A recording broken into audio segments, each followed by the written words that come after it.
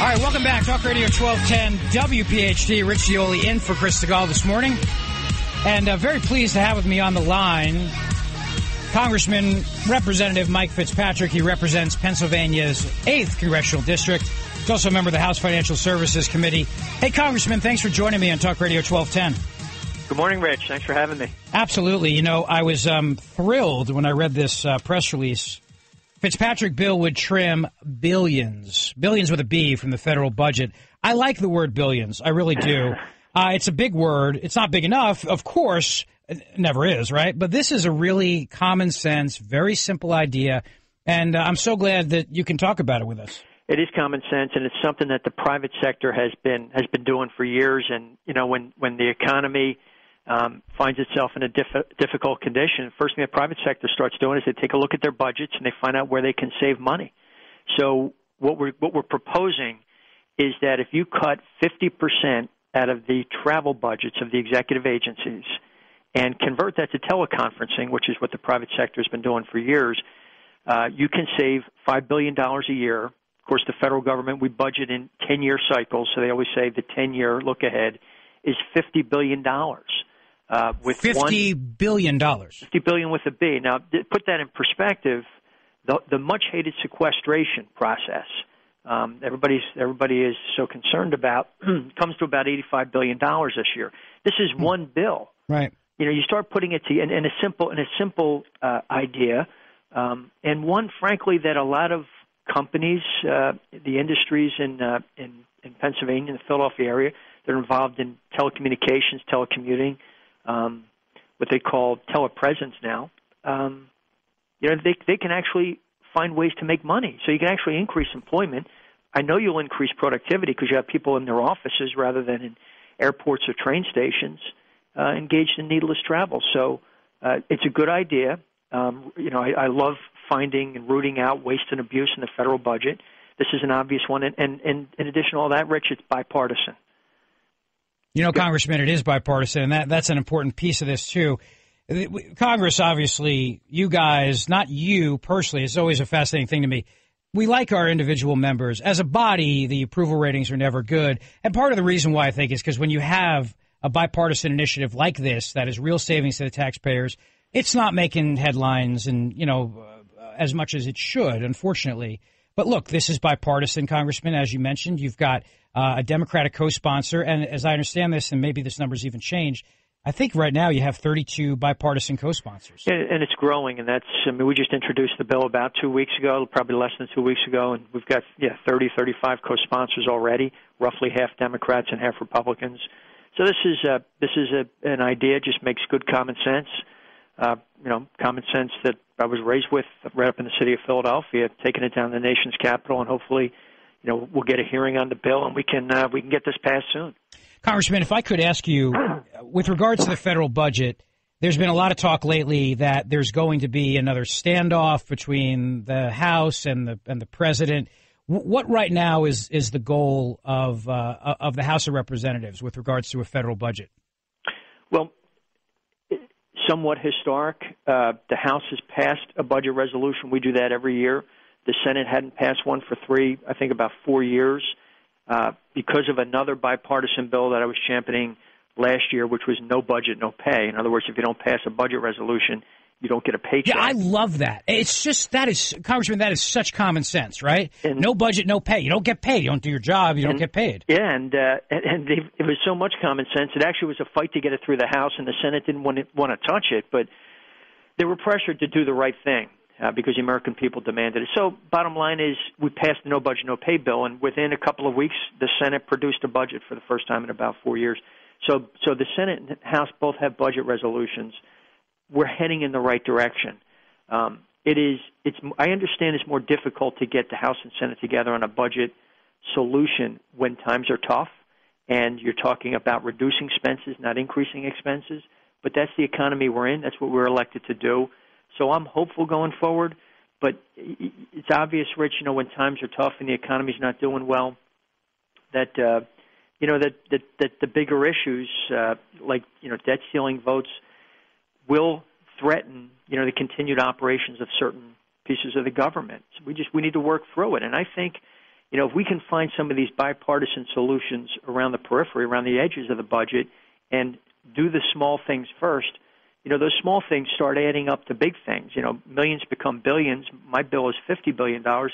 If you put ten of those together, you know, you've got uh, you've got five hundred billion, half a trillion dollars. Mm-hmm. Oh, no, no, question about it, Congressman. You know, you have been, I think, a um, a leader on energy independence, and one of the things that I've always liked about you is you're not afraid to talk about the need for America to become energy independent, and and I particularly like the fact that you kind of represent this notion of saying there there should be a diverse energy portfolio.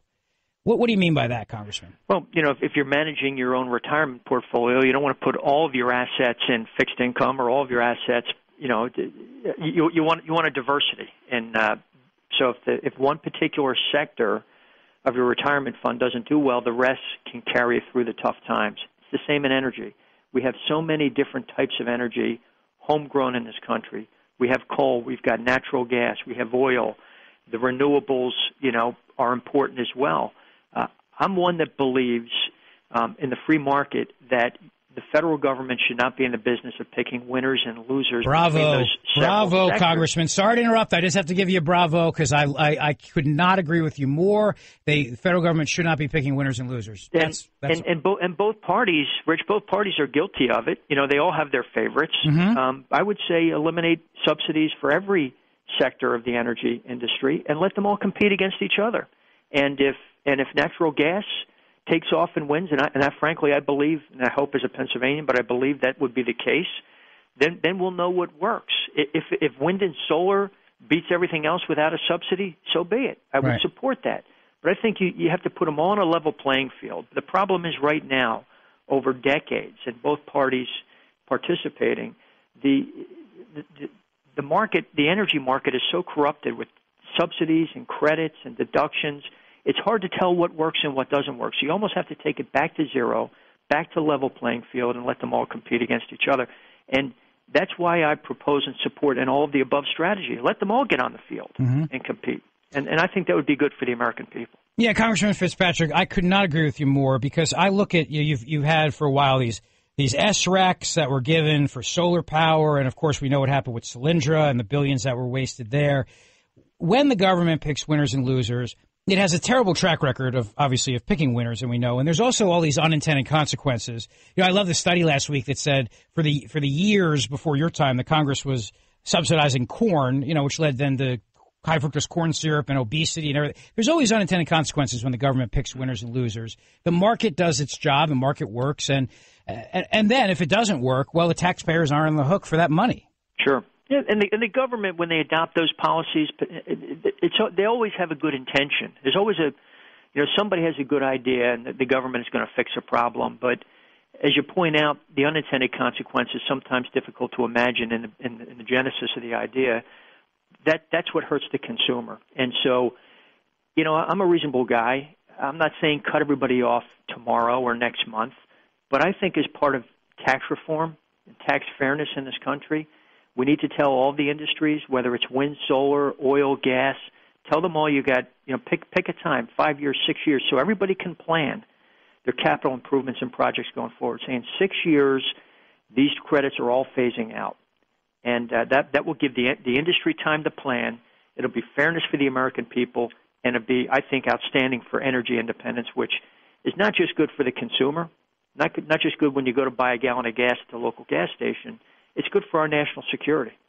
Congressman well. Mike Fitzpatrick joins me here on Talk Radio 1210. His bill, Stay in Place, Cut the Waste Act, will cut $50 billion over the course of 10 years by just very simply saying that federal travel should be uh, replaced with video teleconferencing. You know what I loved about this? And by the way, I want to make this point very clear. We should never be in the business of saying, ah, well, what's a billion? What's a billion? We got into this problem as a nation by saying, oh, what's a billion here? What's a billion there? we should be cutting every single possible place we could because, as you pointed out, Congressman, it all adds up. And what I loved about this particular, you you had your announcement and you did it digitally, which I think is so cool. Yeah, right, right, right to a uh, right to a company in, in Doylestown, Bucks County, um, where this is their business, and they they've been working with in the private sector with pharmaceutical executives to cut travel. These companies have been required since the downturn of the economy in 2008 and 2009 they've been required on their own to cut 50% of their travel budgets.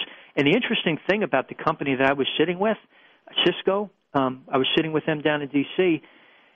When they cut their travel budget 50% and, and converted to video teleconferencing, what they found is they actually it was not just more productive for the employees because they were in their office and safer because you're not traveling and greener because you're not polluting the air as part of that travel. They actually found that they, their contacts with their customers and their clients increased. So they actually they actually saw their customers more than when they were traveling to see them. But you know, as, as you point out, you know, sometimes Washington can get lost in the big numbers and the big picture. I Just want to boil it down to to an individual employee. Um, there was an article yesterday in a, in a paper down in Washington about the uh, about the Internal Revenue Service, and it talked about the average executive at the IRS spends between twelve thousand and thirteen thousand per employee per year in travel. And my average constituent up in Bucks and Montgomery County, they look at that and say, obviously there's opportunity for savings. There was one executive last year who was reimbursed $161,000 for travel from the Internal Revenue Service. Anybody that doesn't think on the micro level that we can't save a lot of money and then you make it federal government wide, significant savings, and we have to do it. Congressman Fitzpatrick, you brought up tax reform, and I also know that you are involved with the Stop Targeting Our Politics Act, the STOP Act, which would uh, hold the IRS accountable when they when they politically target groups and Americans. The bigger issue of tax reform, which I think has really come to light here with all this IRS targeting and everything else, how, how do we how do we reform this this this monster that is the federal tax code? I, I think um, I think you do it in small pieces.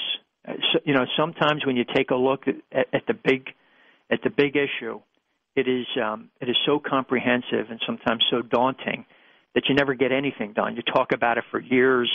There's plenty to argue about. The No Labels organization that I've affiliated with, which are Democrats and Republicans that are committed to fixing problems, not fighting about them, we said, look, you know, we can we we can figure out you know all the things we disagree on, and we could start the debate and not accomplish anything, or we can start with the areas of agreement. So you know, in no labels, we found nine bills. One is my, you know, reduce budgets, travel budgets by 50%. We're finding the things we agree on. So I would say to the Ways and Means Committee that's engaged in tax fairness and comprehensive tax reform, you know, start start with the small areas that you can agree on. If if you can't agree, if wind and solar and oil and natural gas are fighting with each other and the proxy wars are going on with the individual representatives in Washington, don't try to do it all tomorrow. But as I said earlier, give them six, five, six, seven years, and put them on a glide path, and talk about fairness. And and that's the way I would do it. I would take it in smaller pieces. You know, and as opposed to say tomorrow having like a flat tax or uh, or a fair fair tax it or could, something. It, it could you could do it over time. You know, you, you set the goal, but you know, a, a shock to the our, our economy is pretty big, and any one of these industries sectors are very big. And if you just changed it tomorrow, that would be such a shock to the system.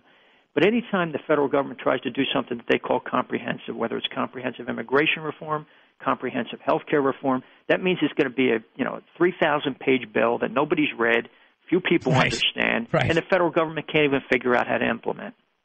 Yeah, and, and you know, as you bring that up, Congressman Mike Fitzpatrick uh, joins me here on Talk Radio 1210 WPHT 824. Uh, the last thing I want to ask you about, and thanks so much for your time today. It's been a really fun sure. interview. Let's talk about for a second Obamacare, the Affordable Care Act. As you just said, whenever government tries to do these, and this is this is my problem with the immigration bill as well. It's this is a big issue. Let's slow it down, read the read the damn thing, and and figure this out, as opposed to always trying to rush these things through. I know that Obamacare it's becoming less and less popular every day. You see that individuals now are understanding that the mandate is going to hit them very soon. The House seems to be committed to to doing everything it can to stop this this thing. Um, can it can it be stopped? Well, listen, Rich. I mean, my, my constituents know very well that I am not a fan of Obamacare, uh, not from the beginning. And, and it wasn't just the substance of the bill; it was the procedure and the way it was passed. It was rammed through that nobody read it without a single Republican vote. So there wasn't even sort of a tip of the hat to the other side of the aisle or those who may have disagreed with, you know, full out government run health care. So that that's how that's how it started. And it's not just the Republican House opposing we're receiving letters. I, I've received letters as representatives of my constituents back home from um, labor, organized labor, from from the uh, electrical workers, from the food and commercial workers, from the Teamsters. They are saying, and, and they were proponents, I think, proponents of the bill in the in the first instance, supporters of the president. They're saying it's a disaster. They're they're asking me as, as a Republican representative, help us out of this. So we desperately needed health care reform in 2009 and 2010. I don't think we need the kind of reform that we got. And so I think just like I was saying earlier about about tax fairness, um, and I voted to repeal the Affordable Care Act, so-called Affordable Care Act. I think what we need to do is start taking it, you know, dissecting it piece by piece, taking it apart, deleting those pieces that are that are really bad. Um, but this is a town, I, and I firmly believe this, Rich. You can't just be against things; you have to be for something. Right. A lot of folks come to Washington. They're again, they, they'll just vote no all day, and they never really have a have a new or original idea. You know, I've got a health care um, reform plan. It's introduced in the Congress. Um, my co co uh, co-sponsor of the bill is Joe Heck, who's a Philadelphia trained physician, now represents uh, the state of Nevada, and it includes free market health care reforms that I think are good for the consumer because what consumers really want everybody wants wants health care they, they want it really they want affordable health care they want the freedom and flexibility to choose the kinds of plans that fit them and their families. Not some one size fits all washington solution that you know is unaffordable because the fact is everybody's rates are now going up. So yeah you know and and and you're you're right about that. And and can can you give us an example, Congressman Fitzpatrick, of what would be, say, a fair market, a free market reform that could benefit consumers that, that doesn't need gigantic Obamacare to do it? Mm-hmm. Well, one would be the, uh, say, the ability of a healthcare consumer um, trying to purchase insurance in the individual market. So in other words, you don't have an employer providing it for you. Number one, you ought to get the same tax benefits as the big employer, so it should be fully deductible. Number two, you should be able to buy it anywhere in the country that you want like you buy your auto insurance, like you buy your life insurance. If you, if you can purchase health insurance in the state of Delaware, um, and it's a plan that fits you and your family, and you can purchase it on the internet, I think you should be able to do that. And the federal government should not tell, be able to tell you that that's prohibited.